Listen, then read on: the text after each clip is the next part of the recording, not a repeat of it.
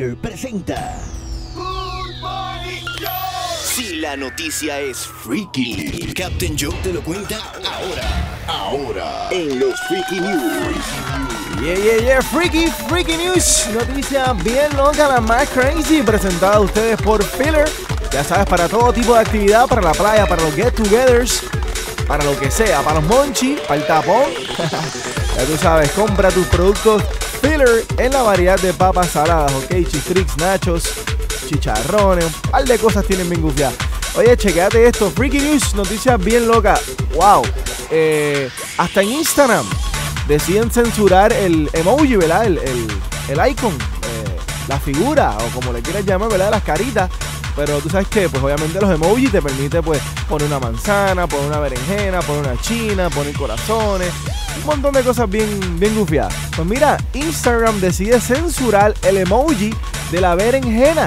Y es que la red social Instagram ha anunciado hoy el bloqueo del emoji de la berenjena tras ser utilizada mayormente en contenidos sexuales. Sin embargo, se toma contradictorio ya que Instagram había decidido atender a las peticiones de sus usuarios e incluir en la red social la posibilidad de utilizar las llamadas hashtag emoji.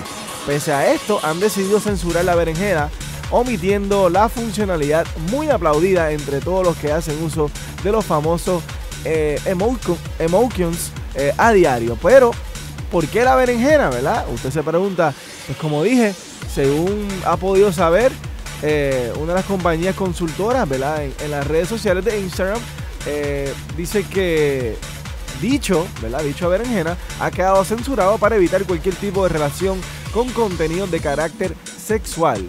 Eh, y pues han decidido, ¿verdad? Eh, censurar el eggplant, la berenjena. Y hasta han, han hecho hashtags, ¿verdad? Durante todo el día de hoy, ya los he visto.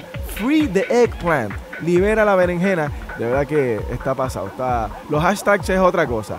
Si no, si no sabes lo que es, pues mira, entra a Instagram y tripea un rato con los hashtags. Hashtag Radio Yo, hashtag Good Morning Joe y así por ahí para abajo.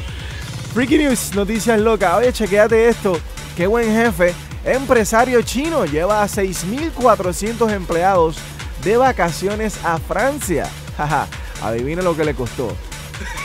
Unos 40 millones. No, no es chiste. 40 millones de dólares le costó llevar a sus 6.400 empleados de vacaciones con todo pago.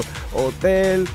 O sea, hay que tener billete. Este adinerado empresario chino invitó a sus 6.400 empleados de vacaciones a Francia con todos los gastos pagos por motivo del eh, 20 aniversario de la compañía. Lin Jung-wan, jefe de la empresa Tiens Group Company, reservó 140 hoteles para acomodar en París a sus empleados, así publicó el International Business Times.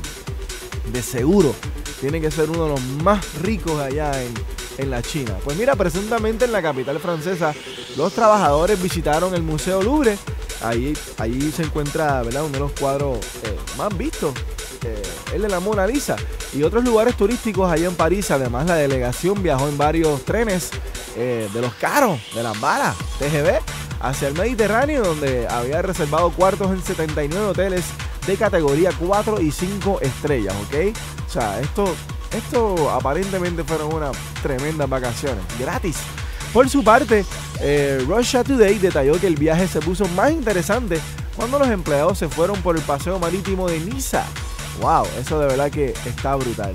Jin Yuan acostumbra a celebrar de esta forma cada aniversario de su empresa.